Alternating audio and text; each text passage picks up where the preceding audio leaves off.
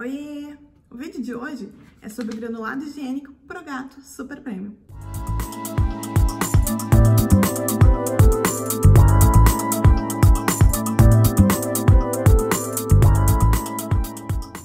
Esse pacotinho aqui tem 4 quilos, está custando R$ 39,99, tem na nossa lojinha, eu vou deixar o link aqui na descrição.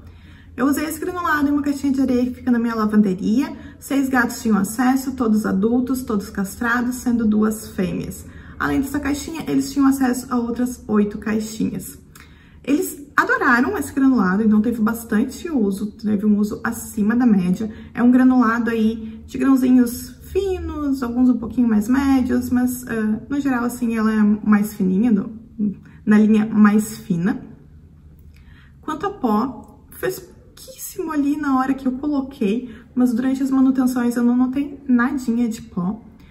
A sujeira na volta foi meio considerável assim, porque como eu falei, eles usaram muito, e daí logo, né, cava daqui, cava dali, jogarei aqui, jogarei ali. Mas eu não notei assim espalhar muito para outros ambientes da casa, foi mais nas redondezas ali de onde estava a caixinha. Eles usaram uh, mais para urina, mas tinha fezes também. Vamos para os torrões.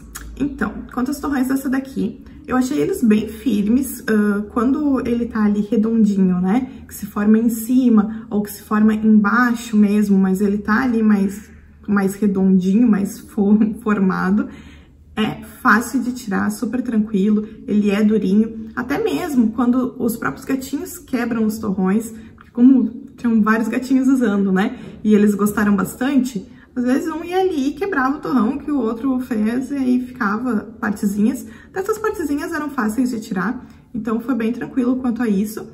Uh, torrões que se formavam no fundo aí, né, mais disformes às vezes, porque ali no comecinho que os gatinhos, sei lá, cavavam muito num canto assim e fazia o xixi que ficava mais no fundo da caixinha.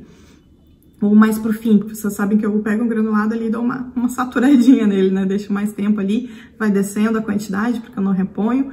Então, esses torrões que ficavam mais espalhados, aí sim, uh, eles quebravam bastante e quando ele tava ali, né, mais disforme, acabava ficando um pouquinho mais úmido, assim, naquela região, principalmente quando ele não tinha muito tempo ali que tinha sido feito. Mas a maioria dos torrões formaram, assim, redondinhos e foi fácil de tirar. Então, no geral, assim, uh, foi bem tranquila a questão dos torrões. Não teve cheiro ruim durante todo o tempo de uso, exceto no último dia. No último dia, uh, o, o, último torrão, assim, que eu removi dela, aí ele tava com um cheirinho ali de urina. Pode ser porque não fazia muito tempo que tinha sido feito, ou realmente porque já, já tinha dado ali, mas eu não sei porque. Eu tirei, na verdade, ela porque já tinha pouco granulado. Uh, eu tirei depois de 18 dias, então foi esse o tempo que ela me durou por aqui. Daí tinha pouquinho granulado ali, aquele torrão ali já tava com cheirinho, não tá, tá na hora, vamos embora, vamos remover esse granulado daqui. Bom, vamos ler a embalagem, ver o que, que eles prometem por aqui. Então, forma torrões firmes, sim, então é aquela velha história, né? Manter uma boa quantidade de granulado ali, provavelmente vai conseguir mais torrões formando em cima, ou se tu tens apenas um gatinho, né, que não vai ter o outro ali bagunçando uh, o torrão logo em seguida, tu vai ter um resultado até melhor com ela. Uh, controle superior de odores, uh, proteção antiparasitária, aí já, já, eu não sei, já é muito para eu conseguir investigar. uh, que mais que diz por aqui? Bom, a forma de uso provavelmente é aquilo que eu não faço, né, de repor, mas vamos lá. Uh, coloque o granulado, formando uma altura de no mínimo 5 centímetros, coloquei o pacote todo, como sempre faço.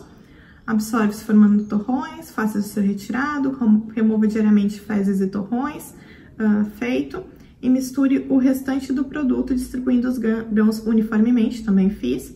Preencha a bandeja quando necessário para manter a profundidade original, o que, né, tu tá tirando ali, isso deve ser praticamente quase todo dia. Mas eu não fiz essa parte, né? E aqui fala que ninguém melhor do que você para saber a hora de substituir o produto. Aqui foi depois de 18 dias. Então, galera, esse daqui foi o Progato Super Prêmio. Ah, importante, tá? Aqui fala, ó, não descarte Progato Super Prêmio no vaso sanitário.